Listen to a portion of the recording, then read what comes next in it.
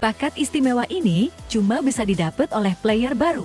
Dengan beli seharga Rp8.000, kita bisa dapat dua skin langka ini dan juga senjata versi Halloween. Niat iseng beli, apalagi cuma Rp5.000. Verifikasi akun, isi password, dan berhasil. Ini juga kali pertamanya gue beli sesuatu di dalam game.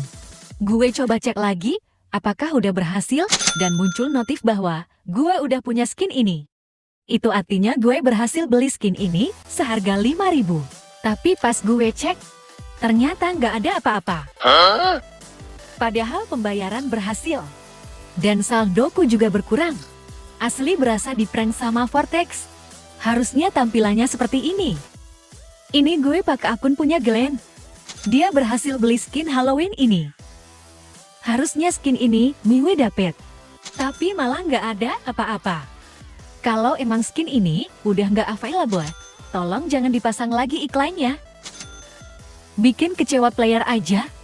Meskipun gue beli cuma 5000 Harusnya begini ada senjatanya juga.